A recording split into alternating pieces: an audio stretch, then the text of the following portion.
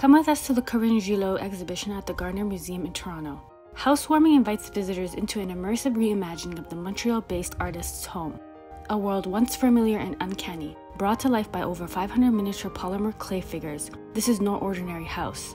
A response to the COVID 19 pandemic and the waves of confinement and isolation that followed. Housewarming is a sculpted documentary of individual and collective experiences grounded in current events. With the pandemic as a constant presence, the colorful dioramas furnishing each room prompt reflection about the challenges we face as a society.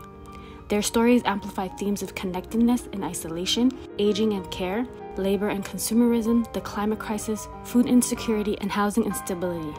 The more closely you look, the more you may recognize yourself in the scenarios and protagonists you see. Housewarming will run until May 7th at the Gardiner Museum in Toronto. Check it out while you still can.